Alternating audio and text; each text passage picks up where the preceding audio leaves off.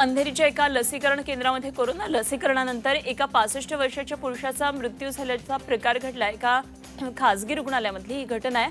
मुंबईमध्ये लसीकरणानंतर मृत्यू झाल्याची ही पहिलीच घटना आहे. लस टोचल्यानंतर पासष्ट वर्षाच्या व्यक्तीला चक्कर आली. या व्यक्तीला दुपारी चार वाजण्याच्या सुमारास आयसीयूमध्ये दाखल करण्यात आलं आणि संध्याकाळी पाच वाजता त्यांचा मृत्यू झाल्याचं पालिकेच्या कार्यकारी अधिकारी डॉक्टर मंगला गोमारे यांनी सांगितलं.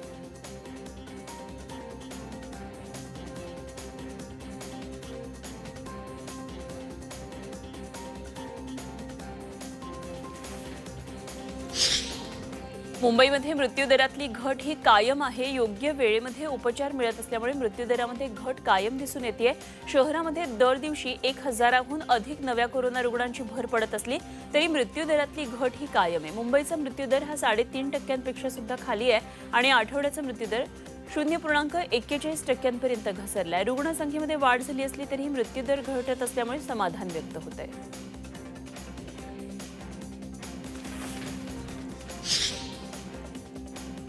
धारावीत कोरोनानं पुन्हा एकदा डोकं वर काढले. काल एकाच दिवशी धारावीमध्ये अठरा नवे रुग्ण आढळलेले आहेत आणि ऑक्टोबर नंतरची सर्वाधिक नोंद ही काल करण्यात आली आहे. ऑगस्ट नंतर धारावीमध्ये रुग्णसंख्या घटत गेली. ऑक्टोबर नंतर रोज दोन अंकी नोंद होणारी रुग्णसंख्या एका अंकावर आली आहे आणि दोन फेब्रुवारीला सहाव्यांदा धारावीमध्ये एकही कोरोना रुग्ण आढळलेला नव्हता. मात्र मागच्या काही दिवसांपासून धारावीमध्ये पुन्हा एकदा रुग्ण आढळलेले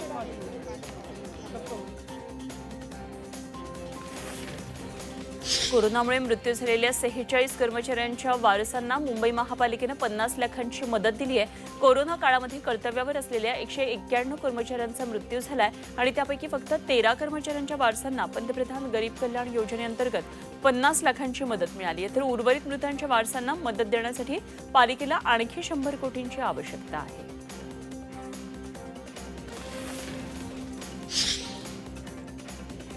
होम क्वारंटाईनचे नियम धुडकावून बाहेर पडणाऱ्या बाधित आणि संशयित रुग्णांवर कडक धोरण अवलंबण्याचा निर्णय मुंबई महापालिका प्रशासनानं घेतलाय.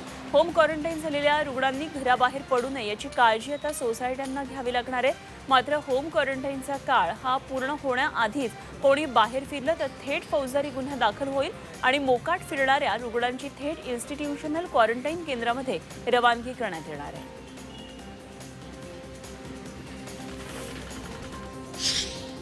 मुंबई विमानतळाचे डोमेस्टिक टर्मिनल उद्यापासून खुलं होणार आहे. जवळपास एक वर्षानंतर हे टर्मिनल खुलं होणार आहे. गेल्या मार्च महिन्यामध्ये लॉकडाऊन लागू केल्यानंतर प्रवाशांची संख्या कमी झाली होती आणि त्यामुळे टर्मिनल एक म्हणजेच डोमेस्टिक टर्मिनलवरची विमानं वाहतूक तसंच टर्मिनल टूवर वळवण्यात आली होती. मार्च दोन हजार वीसपासून टर्मिनल टूवरून देशांतर्गत आणि आंतरराष्ट्रीय विमान उड्डाणं होत होती. मात्र आता टर्मिनल वन हे खुलं करण्यात आहे आणि दहा मार्चला टर्मिनल एकूण एकशे दोन विमान फेऱ्यांचं नियोजन करण्यात आलेलं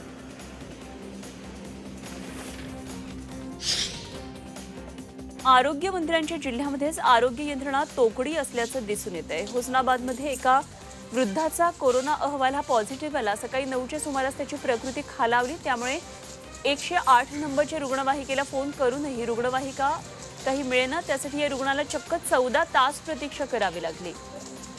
रात्री अकराच्या दरम्यान रुग्णवाहिका आल्यानंतर या बाधिताला जालन्यामध्ये हलवण्यात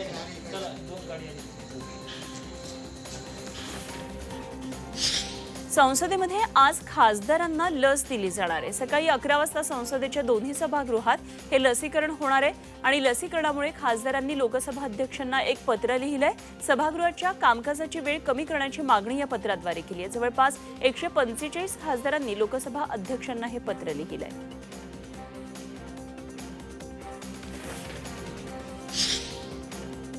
शंभरीच्या उंबरठ्यावर उभं असलेलं पेट्रोल लवकरच खरोखर शंभरी पार करणार असल्याची शक्यता आहे. कारण आंतरराष्ट्रीय बाजारात कच्च्या तेलाचे दर हे कमालीचे वाढलेत. कच्च्या तेलाचे दर हे प्रतिबॅरेल सत्तर डॉलरच्या वर गेले सोमवारी ब्रेंट क्रूडचे दर हे एक पूर्णांक चौदा डॉलरनं वाढले आणि सत्तर पूर्णांक सत्तेचाळीस डॉलर प्रति बॅरल झाले.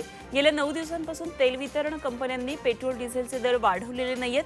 मात्र कच्च्या तेलाचे दर वाढलेले आहेत आणि त्यामुळे कंपन्या आता दरवाढ करणार हे निश्चित आहे.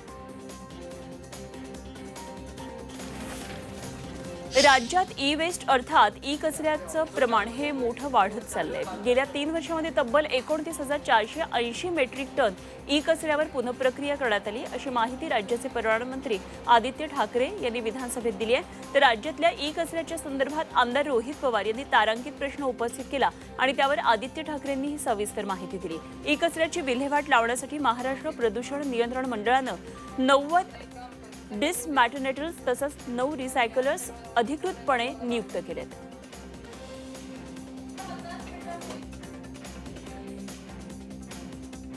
पूर्णांक एक अंशांची विक्रमी पातळी गाठणाऱ्या पाऱ्यानं सोमवारी सलग दुसऱ्या दिवशी पस्तीस अंशांच्या पुढे उसळी घेतली आहे. शहरामध्ये संपूर्ण आठवडाभर तापमान पस्तीस ते सदतीस अंशांच्या आसपास राहील असा अंदाज हवामान खात्यानं वर्तवलेला आहे.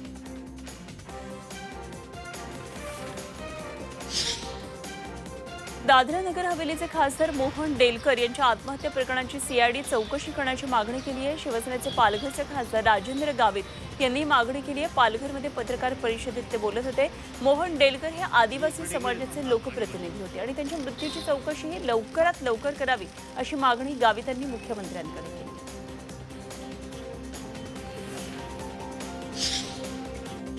महिला दिनीच कोल्हापुरातल्या महिलांनी एकजूट दाखवली. शिरोळ तालुक्यातल्या अब्दुल्लाट मधल्या दारू अड्डे उद्ध्वस्त केलेले आहेत. तसेच दुकानं बंद करण्याची मागणी महिला सतत करत होत्या पण पोलीस त्याकडे दुर्लक्ष करत होते. अखेर काल महिला दिनी एकत्र येऊन महिलांनी दारू विक्रेत्यांना लपवलेली दारू शोधली आणि त्याची होळी केली. या धाडसामुळे महिलांचं कौतुक होतं. वाशिमच्या कारंजा तालुक्यातल्या धानोरा ताथोडमध्ये पोलिसांनी मोठा दारू साठा जप्त केला. सुमारे सत्तर हजारांच्या देशी विदेशी दारूसह आरोपी आकाश आंबोरेला पोलिसांनी अटक केली आहे. धानोरा ताथोड इथे संचारबंदी असताना मोठ्या प्रमाणात अवैधरित्या दारू विक्री सुरू असल्याची माहिती पोलिसांना मिळाली. त्या आधारे कारंजा पोलिसांनी धाड टाकून ही कारवाई केली. रायगड पोलिसांच्या स्थानिक गुन्हे शाखेनं मोटरसायकल चोरांची टोळी जेरबंद केली. टोळीतल्या संकेत जामकर संकेत जाधव शुभम कश्यप आणि आशिष पवार यांना अटक केली. त्यांच्याकडून आठ मोटरसायकल जप्त केल्यात आणि चार लाखांच्या आसपास त्याची किंमत आहे. मोटरसायकल अलिबाग पनवेल आणि उरणमधून चोरल्या होत्या.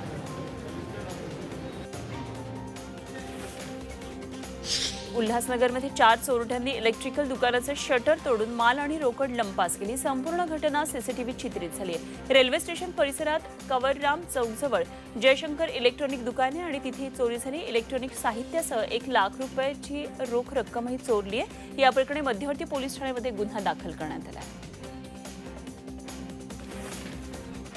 कोलकात्यामध्ये रेल्वेच्या बहुमजली इमारतीला लागलेल्या भीषण आगीत नऊ जणांचा मृत्यू झाला आणि मृत्यू झालेल्यांमध्ये अग्निशमन दलाचे चार जवान रेल्वे पोलीस दलाचे दोन जवान आणि एका पोलीस अधिकाऱ्याचा समावेश आहे. इमारतीमध्ये रेल्वेची कार्यालय आहेत आग लागल्यानंतर वरिष्ठ पोलीस अधिकाऱ्यांनी घटनास्थळी धाव घेतली. मुख्यमंत्री ममता बॅनर्जींनी देखील बचाव कार्य सुरू असताना घटनास्थळी त्या पोहोचल्या.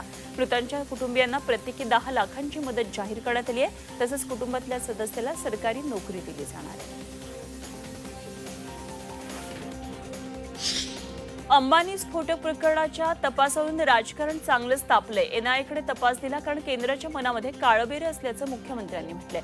तर विरोधकांकडून महाराष्ट्राची बदनामी सुरू असल्याची टीका त्यांनी केली आहे. खासदार डेलकर यांच्या आत्महत्येची ही चौकशी करणार असल्याचं ते म्हणाले.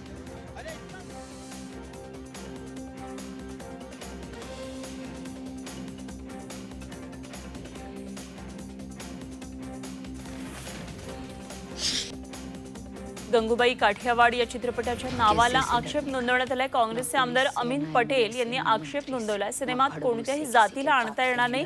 कामाठीपुराचं ज्या पद्धतीनं चित्रण केलं आहे ते चुकीचं आहे. काठियावाडी हा एक समाज आहे आणि चित्रपटाच्या नावावरून या समाजात रोष आहे असं ते म्हणाले. आदत डाल ले. क्योंकि तेरी कुर्सी तो गई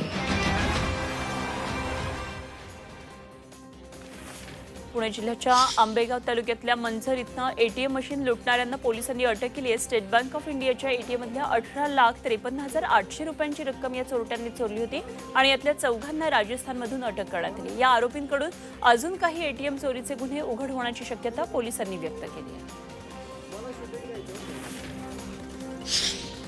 पुण्यामधल्या तरुणांच्या प्रयत्नातून काश्मीर खोऱ्यातल्या एक खेडेगावमध्ये वीज आता पोहोचली आहे. असीम फाउंडेशन आणि लष्कराची पीर पंचाल ब्रिगेड यांनी जीएस लॅबच्या सहकार्यातून गगर हिल गावामध्ये सौर ऊर्जा प्रकल्प उभारलाय. गगर हिल हे बारा ते पंधरा घरांचं गाव आहे. अतिशय दुर्गम भागातलं गाव आहे जे ताबारेषेच्या अगदी जवळ आहे. या गावामध्ये अजूनही वीज नव्हती आणि यावर उत्तर म्हणून गावामध्ये मायक्रो पॉवर ग्रीड बसवण्यात आलाय.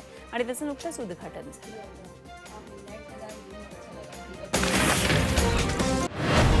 ताडोबातल्या वाघिणीची चाल म्हणजे.